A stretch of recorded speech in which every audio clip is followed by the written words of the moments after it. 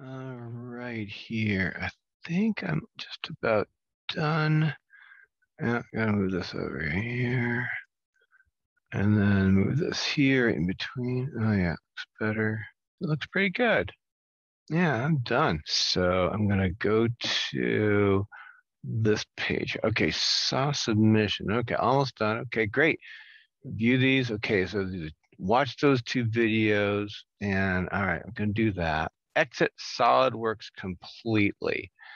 All right, so make sure everything's saved and then gonna get out of SolidWorks. So exit. All right, next, make sure the filing five, not four, not six, files in their own folder. Okay, in their own folder. Okay, I've got the assembly, the rivet, the blade, the handle, and the rivet drawing. Oh, wait a minute, I'm supposed to have my name in them? Oh, that's right. Gotta have my name in them. Initials should be good enough, right? Right, right, okay. And, and just do that to all of them, and I should be good to go. Open SolidWorks and each of the files. Okay, open SolidWorks, each of the files, not just the parts. Oh, okay. So all of the files. Make sure everything displays. Okay, here comes SolidWorks. All these guys. All right, hit open. Uh, wait, what? Unable to locate. No, we don't locate it. It's right there. What do you? Oh, okay. Wait, where'd it go? Okay, you can see it here. It's like it's obviously right there. Um, what do you mean locate? It's right. It's right there. Ah! Oh no! What happened? Oh my goodness! Ah! No! Now, has this ever happened to you? Do you want it to happen to you? Do you want to avoid it happening to you? Yes, I'm pretty sure you want to avoid those kinds of things. I'm here to help you avoid these kinds of problems as well as do a great job on your project. What we have here is an issue with file management the way SolidWorks likes to do it. Let me explain a few things and we'll then we'll go back to how to fix this stuff. So basic SolidWorks file management. Here we go. Hopefully this won't take too long.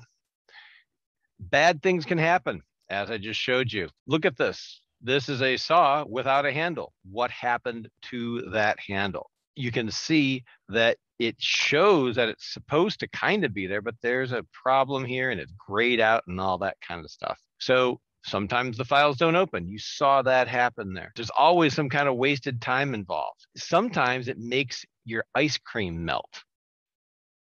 No, it actually doesn't do that. But if you wait too long, your ice cream might melt. You know, who wants to have melted ice cream? And other bad things can can come forth from this. So let's see how to uh, how to deal with these situations. First, we need to understand how SolidWorks actually connects these files. All right. Let's say we've got three parts. We want a drawing of each part. Two parts make subassemblies. That subassembly has a drawing. There's a main assembly from the subassembly in part three, and then the main assembly also has a drawing. So how are these all related? Now that's the thing about SolidWorks. They're not separate. You don't just make a file and then you make another file and something.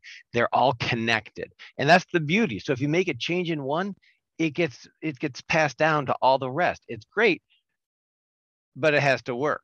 You have to let the process happen and not get in the way. You start off with the parts. Everything is based on them. That's why I put them at the top there.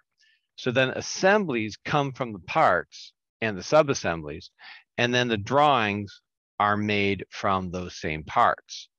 Or for that matter, the drawings can be made of the assembly. So everything starts with the parts and, and trickles down from there. What can happen here?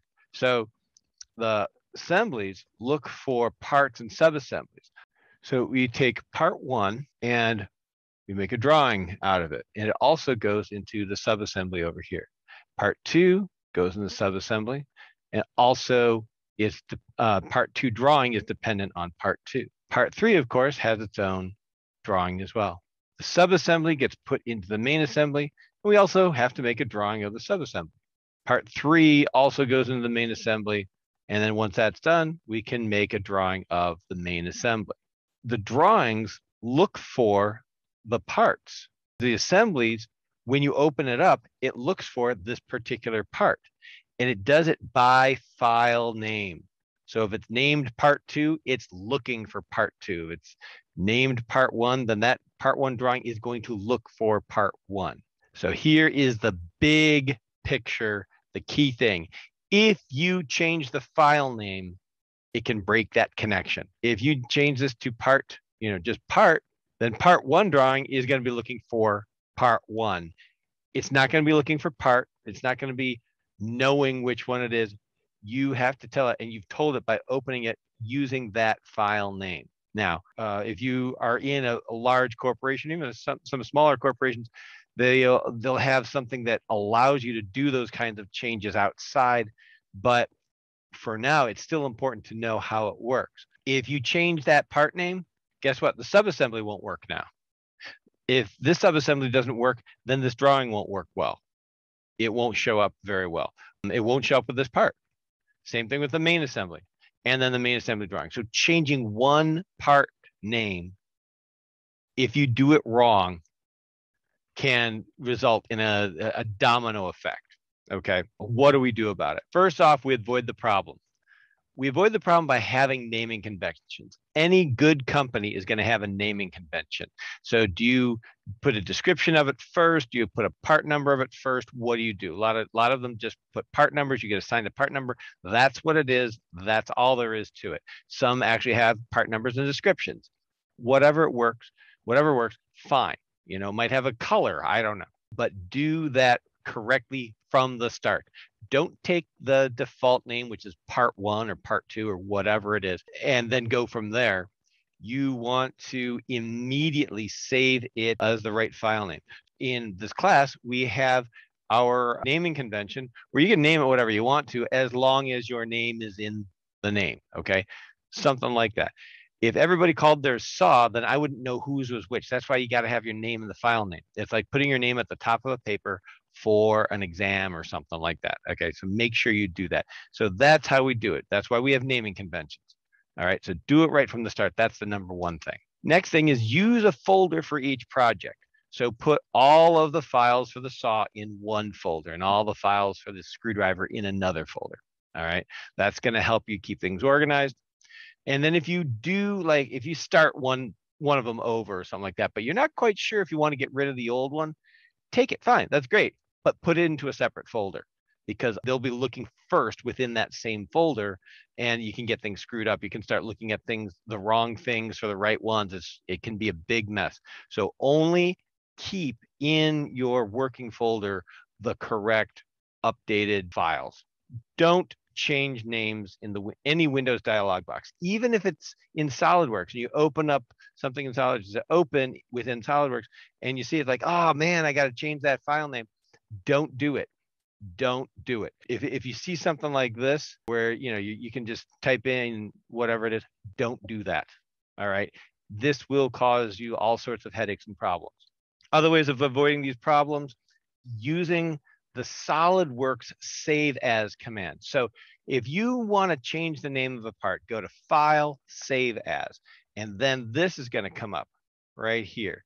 All right, and it saves the document with a new file name. Notice this very important thing. Open files that have references to the original document will refer to the new file. So if you've got a part and it's drawing and you want to change the name of the part, make sure that drawing's open. Do the save as thing and then it'll be seamless, no problem. But if you have the part and the drawing isn't open or an assembly isn't open or something like that, it can get screwed up. All right, so make sure your entire project's open, then do the save as. And that can apply to drawings, parts, assemblies, all that stuff. Do this save as thing, okay? In general, save and backup often. That should go without saying. You can have a secondary backup to a thumb drive, but don't depend on thumb drives. They get lost, they get destroyed, they get uh, fried. If we should have a shared Google Drive folder, uh, we're going to work on that, but uh, only put final files in that Google Drive folder. If I say you want 10 files in there, then give me the 10 up-to-date files. Everything else should be stashed in another archive folder somewhere. And you got to make sure that those 10 actually work. sometimes those file names get changed and that can be my fault, but I'm, I know when to look out for that. Not so much my fault as Google Drive, but um, I'll look out for that. Okay, what happens if you did something bad and something comes up and you know the the issue happens? Got this in the wrong order, but choose browse for file here. Unable to locate it, browse for file.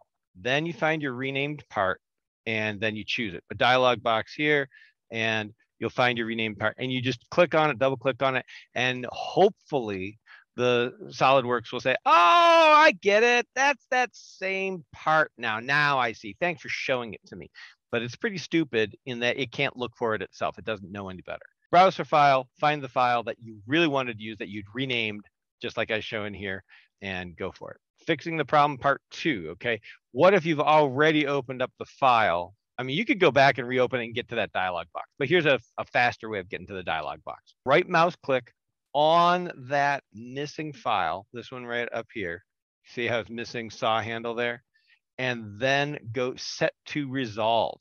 If you do that, then you get back to that dialog box where you've got browse for file shows up again. So this whole browse for file thing here is, and then you see down here, saw handle, my name, double click on it, and hopefully doesn't always work depending on you know especially if you move things around or change things around whatever bad things can happen there. But then hope that it works. All right? So that's fixing the problem. In conclusion a couple big things. Do it right the first time. And second thing mistakes happen but don't freak out like i did. Uh, just fix it. So let's see what we can do about that other one that i started with here. So here we have the i renamed everything with jb here. And this bad boy Eh, you know, this is how the drawing is going to show up. It can't find anything. So what do we do with this one? It's a little bit different than what I just showed you. What you need to do is you can right click right on that file and then go open part. All right, it says saw rivet. And then it's going to get you to that dialog box. Browse for file and JB saw rivet. Open. Hopefully it comes up. Okay, so it wants me to open that up. All right, let's go to saw rivet drawing here. Okay, what I really want to do, I should have put the first place is click on replace model. All right, make sure you have all views selected if that's what you want. Go to browse and then saw rivet and hopefully magically it'll work. Hit green check mark. Okay, didn't like that.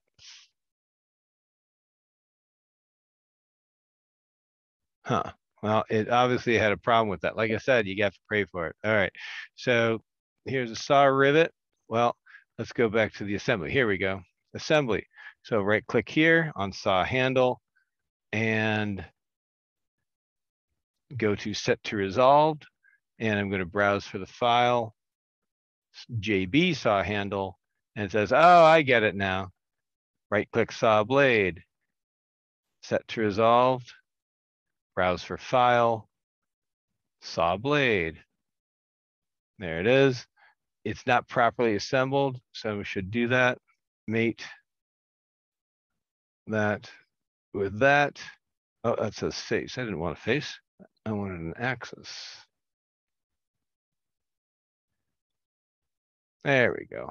So now I want to get the saw rivet in there. Set to resolved. Browser file.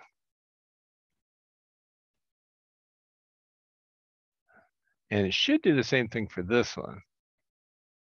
But I have to, and for whatever reason, it calls it saw rivet. Oh, okay, it actually sees it as saw rivet anyway. I don't know why it's showing it like this here. But okay, so if I do save there, then let us get out of all of them.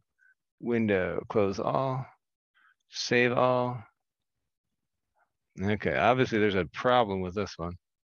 All right, see what I can do here. How much did I fix? And obviously this is why you want to do it right the first time. Okay, well, the assembly came through and it's having a hard time with this. So I'm gonna hit browse for file. And I'm gonna go to saw rivet. So hopefully this will fix all the problems. Yep. So now the software, see, sometimes that was maybe a better idea in the first place was just to get out and then come back in and get that set up there. Okay, looks like I've got a little bit of work to do with this. That ever fix that? No, it did fix that. Okay, great. So now I can save that and be done. So I hope that this helps you figure out if you have a problem or better yet, just really shows you that you want to do it right the first time. Good luck, and I can't wait to see your improved projects.